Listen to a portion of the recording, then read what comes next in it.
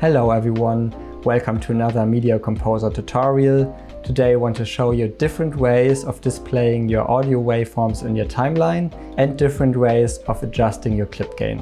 Alright, I'm going to start with the waveforms. A really easy way of displaying them for individual tracks is by just turning them on with this button here for each track. You can also go to the fast menu, audio data, and turn on the waveforms for all tracks at once. This is a really good function to map to your keyboard. That way you can just with your shortcut turn on the waveforms for all tracks. This is especially helpful if you have a really long timeline and your playback is not super smooth anymore, then you can just turn the waveforms off. Another good way of helping with that is by going into your timeline settings and turning on the show marked waveforms function.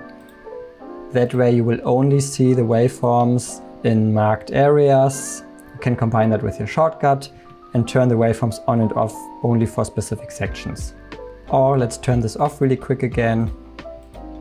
If you need to see your waveforms constantly on one track, but you want to turn it on and off on the other tracks, you can also enable your waveforms on one specific track and then with the shortcut turn everything else on and off. That way your playback is really smooth and you never have to go into any menus. If you feel like your waveforms are too small or too big, you can change that with the keyboard shortcut, hold down Option, Command and L or K to make them bigger or smaller. Okay, let's take a look at adjusting the audio clip gain.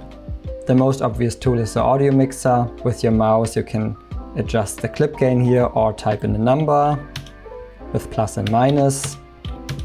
You can also go to the fast menu, audio data clip gain. And now you can see you have this little icon on each clip and you can with your mouse adjust the gain right here. Or you can also type in a number.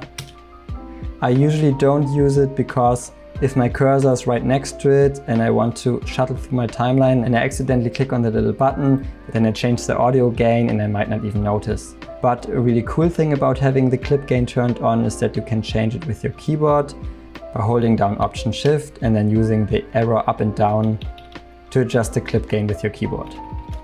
Okay, thanks so much for watching and see you next time.